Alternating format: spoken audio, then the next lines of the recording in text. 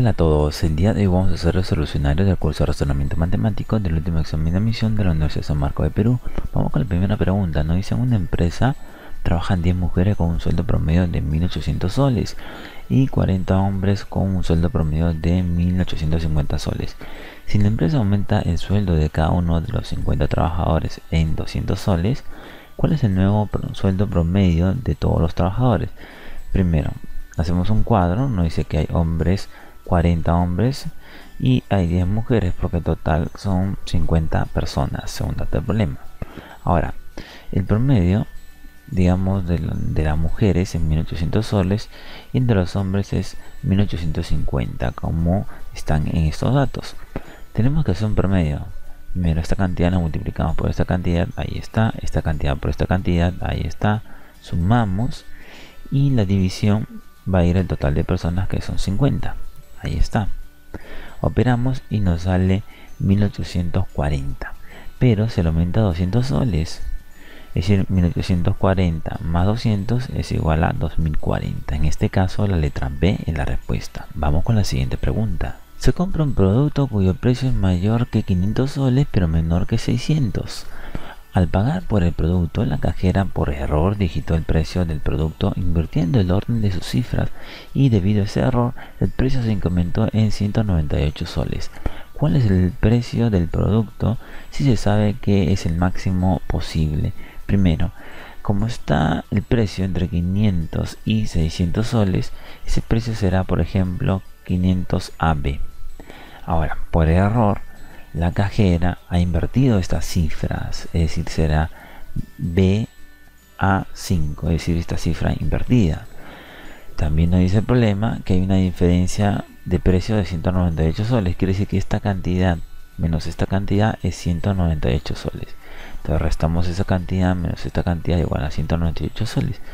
Se va a eliminar la letra A, y no va a quedar todo en función de la letra B. Hay que descomponer polinómicamente esto y nos va a salir el valor de B7 ahora 7 es digamos va a ser así el número 507 y aquí la letra A. Ahora el valor de A puede tomar desde 1 hasta 9 pero hay un detalle nos pide el máximo precio entonces para que sea máximo el valor de A tiene que ser 9 entonces esta cantidad realmente es 597 en este caso la letra B es la respuesta. Vamos con la siguiente pregunta. Hallar la suma del numerador y el denominador de un número racional irreductible mayor que 3 onceavos si se sabe que el numerador aumentado es en, n veces el denominador y n pertenece a los enteros positivos, es el triple del denominador disminuido en n veces el numerador. Primero, la fracción que sea a entre b, que es una fracción irreductible. Ahora, por dato del problema, a por nb, porque nos dice eh, la suma del numerador, que es en este caso el numerador es a y el denominador es b. Numerador racional irreductible ahora nos dice es igual esa suma es igual si se sabe que el numerador aumentado en n veces eh, si, si, no dicen aumentado en n veces n veces el denominador es igual a triple del denominador es decir b denominador disminuido en n veces el numerador pero el numerador es a menos na simplemente nos va a quedar esta ecuación de aquí. Hay que operar y el valor de a entre b nos va a salir 3 menos n 1 más 3n ahora todo esto hay que operar.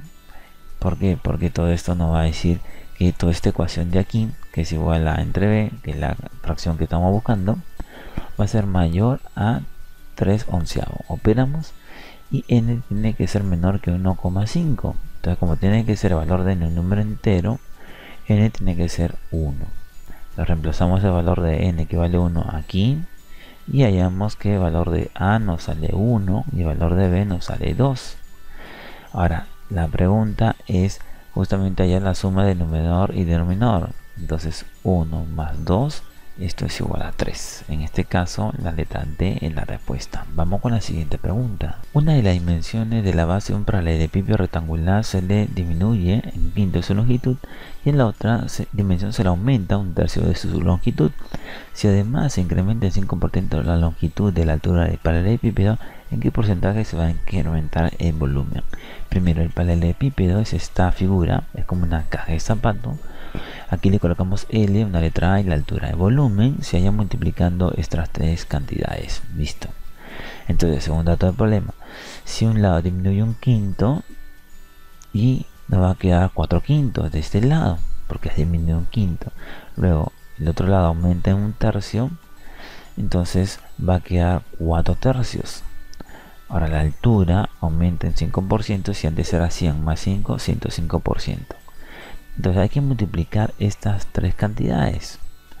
Y al multiplicar nos va a quedar justamente 112% de estas tres cantidades multiplicadas, es decir, de L por A por H. Pero ese es el volumen. Entonces nos va a quedar el volumen final 112% de B de este volumen.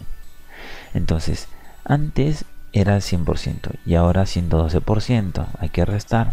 Quiere decir que aumentado en 12%. En este caso, la letra B, la respuesta. Vamos con la siguiente pregunta. A un grupo de niños se le repartió 650 caramelos hasta que el primer niño recibió 2, el segundo 4, el tercero 6, el cuarto 8 y así sucesivamente.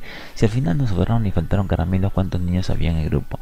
Entonces, n, que sea la cantidad de niños, primero se reparte 2, el tercero, el segundo 4, el tercero 6 y hasta el final 2n simplemente la suma de los números pares. Podemos factorizar el 2 y nos queda 1 más 2 más 3 hasta n.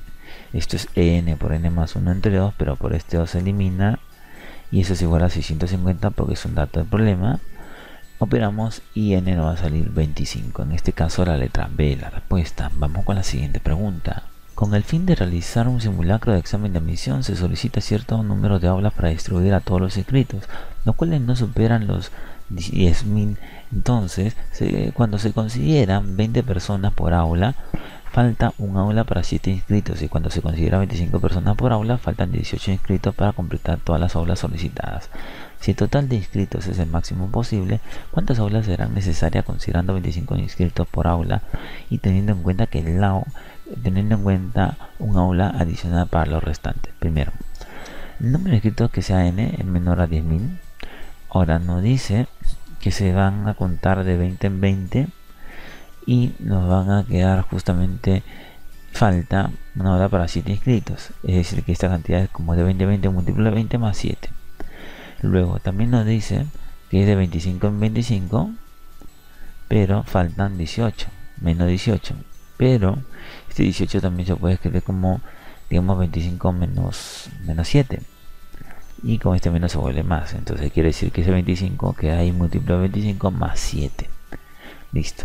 Entonces la cantidad n realmente es un múltiplo de 20 más 7 y también un múltiplo de 25 más 7 todo esto se cumple cuando ese valor de n es un múltiplo de 100 más 7 como n es máximo entonces será 99 por 100 más 7 no va a quedar esta cantidad 9907 ahora esta cantidad hay que dividirla entre 25 nos va a quedar 396 aulas pero nos quedan 7 alumnos entonces se necesita un aula más para estos alumnos restantes digamos. Entonces serán 396 más 1 397. En este caso la letra B, la respuesta. Vamos con la siguiente pregunta. En un determinado país existen cuatro partidos políticos y su Senado consta de 40 escaños que se distribuyen en forma directamente proporcional al número de votos válidos obtenidos por cada partido. En la última elección de votos válidos se distribuyeron de la siguiente manera. Alfa tiene 320.000, alfa 320, beta 220, ahí está, beta 220, delta 140, delta 140 y gamma 120 20.000 ahí está. Simplemente estas cantidades y son 40 escaños en total. Entonces estas cantidades eliminamos un 0 tratamos mitad a todo nos queda 16k debemos multiplicar por una constante 11k 7k y 6k sumamos todo esto y nos va a salir justamente 40k y 40k es igual a 40 que es un el total de los escaños y obviamente en este caso k vale 1 nos pide la diferencia entre alfa y delta. Entonces entre alfa y delta. Es decir 16k menos 7k es 9k y 9 por 1 es 9 en este caso la letra B la respuesta. Vamos con la siguiente pregunta. La diferencia entre dos números es 25 y su mínimo común múltiplo es 1680. Hay la cifra de decenas de menor número de estos dos números. Ahora, sean A y B los números, por teoría tenemos que conocer que el mínimo común, digamos el mínimo común múltiplo y el máximo común divisor tienen esta relación. El máximo común divisor de estas dos cantidades es una letra D. Entonces la, cantidad, la letra A será D por P y en B serán D por B también. Ahora, ese es un primer caso. El máximo, digamos, el máximo común divisor era eso, el mínimo común múltiplo dos cantidades será D por P por Q, donde P y Q son primos entre sí. Es decir, que aquí era D por P, aquí era D por Q y acá en la multiplicación de los tres. Segundo del problema, la diferencia es 25. Entonces reemplazamos el valor de A, que es D por P, el valor de B, que es D por Q. Eso es 25. Me dice que el mínimo, el mínimo con múltiplo de todo es 1680. Es decir, estas tres cantidades multiplicadas es igual a 1680. Como D es un divisor de 25 en 1680, entonces D tiene que ser 5. Ahora reemplazamos en estas dos ecuaciones el, valor de D. Nos va a quedar P menos Q es 5 y P por Q es 336. De ahí hallamos que P es 21 y Q es 16. Entonces el valor de A será 5 justamente por 21 que es 105. El valor de B será 5 por 16 que es 80. El menor de los números es 80. Y la cifra de decena de este número es 8. En este caso la letra D es la respuesta. Esperamos que les haya gustado este video, esperamos sus comentarios, sus sugerencias y les invitamos a que se suscriban a este canal para que puedan ver todos los videos que tenemos por ustedes. Gracias a todos.